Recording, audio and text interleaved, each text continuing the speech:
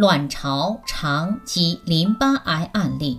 一九八五年，妻子罹患卵巢癌，开刀治疗。过了四年，经检查有罹患结肠癌，再次动手术。经休养一段时间，身体健康状况逐渐恢复。某日，他肩膀凸起一处肿块，切片检查诊断为淋巴癌，马上住院化疗。疗程中，他身心疲惫，非常痛苦。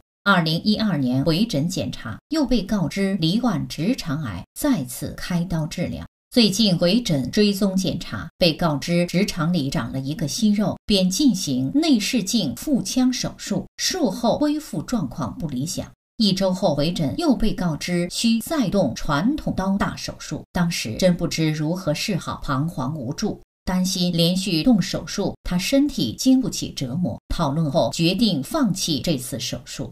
此时，弟弟推荐原始点医学，我们开始执行每周五次按推，喝浓姜汤，温敷，适量运动及保持愉快心情。以上步骤反复施作，经一年多之后，效果显著。妻子原有糖尿病，与三十多年外治，使用原始点两个月后，不用吃糖尿与血糖的药了，陈年外治也消失了，实在非常奇妙。现在还是每天坚持为妻子按推，我们是原始点的受益者与见证人，感恩。